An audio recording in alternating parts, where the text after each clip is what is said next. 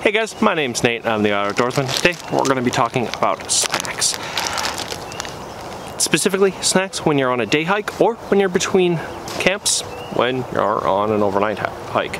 Me and Cassie are on a day hike today and I want to show you what type of snacks we like to pack. So one of the first ones, usually fruit. Why don't I have a full, a full fruit to show you? It's because I'm an idiot and forgot to turn on the first takes audio. So Fruit is great for, um, fruit is great because it has its own casing. Things like bananas, they really do have their own casing. Um, apples are really great as well. Um, and also oranges do have their own casing. Thing is, fruit packed with sugar, they are juicy, they keep you hydrated, and the other thing is, they're just really delicious. So they're really good. And the other benefit, a lot of them super, super cheap. So great way to bring out a delicious snack on the trail. Also, a lot of them don't go bad quickly. So fruit is really good for the trail. Now, let's move on to what else I like to pack. So things that are also really great are things like trail mix. Now, I'm gonna preface this one this one's not sponsored. So, Trail Mix is really, really good. This one specifically is one of the Graze ones. I think this one was like the peanut butter cookie one um, that they have. It's not sponsored. They tend to sponsor a lot of YouTube channels. Um, this one I found at a grocery store. They're pushing out to a lot of grocery stores. Now the benefit of trail mixes is one, you can find a lot of different varieties at grocery stores and stuff um, that are pre-made. The other benefit is you can make your own as well. Um, so you can customize it to the needs you need.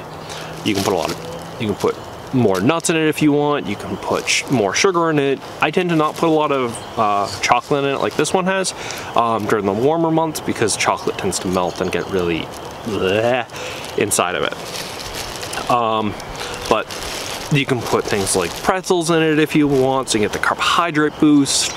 So having all that different stuff in the trail mix, the other benefit of this is you can eat as much or as little as you want and you can move on with your day. And you can even sometimes put it in your pocket and just pick at it as you're going. So, trail mix is amazing for the uh, trail. That's probably why they call it trail mix.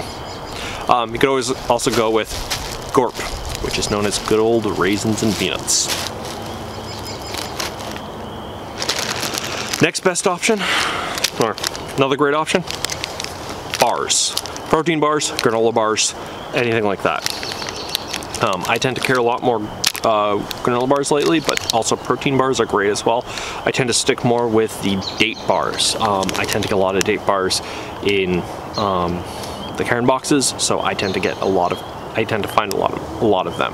I don't like Clif bars as much anymore, especially since I've gained a wide variety of them. Uh, they tend to give me a lot of acid, so.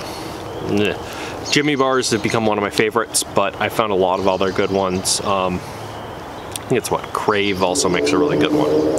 But granola bars are great. It can be a little bit pricey, um, and with both of those, if you're good in the kitchen, make your own as well. Um, one of the ones I also tend to, I've been liking a bit more lately, Nature Valley, really good. Now, one of the things with granola bars, they're they're really good because they tend to carry a lot of carbohydrates, but also tend to have a little bit of sugar as well in it. And depends on which type you get. Um, if it's peanut butter, can have a bit more protein. Sometimes they can also have a bit more sugar. Um, like one of the ones I have is dark chocolate, sugar, bit of caffeine. Um, but carbohydrates in that is really, really good. Um, and having the protein bars, like with the date bars, gives you a little bit of protein to go. And the best thing is, again, you can eat these on the go. For my lunches or my snacks, I don't like to sit and eat cold. I don't like to sit and have to wait for my snacks to be made. Um, also, Epic makes meat bars. They're good. The turkey one is like a uh, Thanksgiving meal in a uh, bar. She does not agree with me on that one. But when you're on a trail, it really does taste like one. Set too high expectations for it the first time I tried it. and it just led to disappointment. I'll have to try it again another time. It was really good. Um, so next thing, one of my other favorites, preserved meats. Things like sausage meats, uh, you can go with small, say summer sausage, pepperoni, or even jerky. I don't have jerky with me today. I just have this, uh, you know, pepperoni stick. Here. Um, so, the pepperoni sticks are really good. Um, they're packed with protein, have a lot of different spices, and also having jerky. It's really nice because you can, again, have a decent protein source while you're out in the woods. And if you're a meat lover like me, it's really nice to have something while you're on the trail. Or when it comes to dinner time, if you didn't eat these on the trail and you're going on an overnight thing, stick this in your meal if you have having a dehydrated meal or ramen. So these are really nice and I really do like these. Um, These tend to be a little bit more pricey. Uh, there's a lot of different jerkies out there. There's a lot of good craft jerkies. I've stopped going with a lot of the cheaper jerkies lately because I found a lot of good jerky brands. Um, Think Jerky, I think it's one of the brands. It's really good. Um, I've had one of them. The texture is really good. Uh, what's the other one? Um, Steve's Paleo Goods is one I like to order every so often. Has a wide variety of proteins and flavors. Also a really good one if you're looking for one. Uh, Sausage Links, I haven't found one. Steve's Paleo Goods offers some that are also really good, but um, this one particularly is Vermont um, original. I like it a little bit peppery. It's really nice. Um, I don't know if they have it outside then, out of New England, but probably. Last but not least, if you're looking for a lunch or kind of a, a protein snack, I don't have any bread on me, but some form of peanut butter and bread to make peanut butter sandwich. If you even have a honey packet on you, throw some honey in there. My favorite sandwich. Um, so, peanut butter, bread, peanut butter sandwich, or even just open faced peanut butter sandwich. Uh, really good. You get protein, get carbohydrates, keep you going.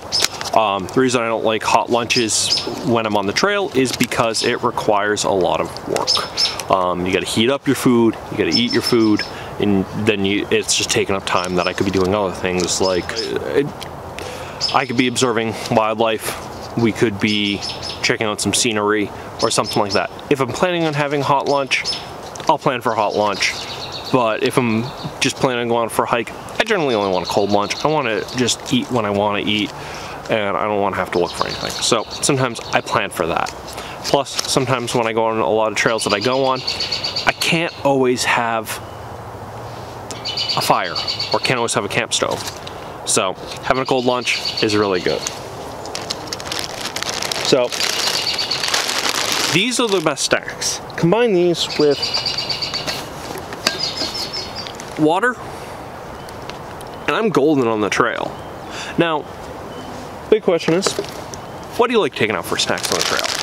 This has been kind of a generalization of some of the great things to bring out on the trail, but what are your favorite snacks? What are things you like to bring out? Um, I'd love to hear it. I'd love to hear you guys discuss down below. Um, but anyways, my name's Nate. I'm the Otter Outdoorsman. This has been Cassie. Um, but remember, get outside, have some fun, have some good snacks as well. Anyways, see everyone.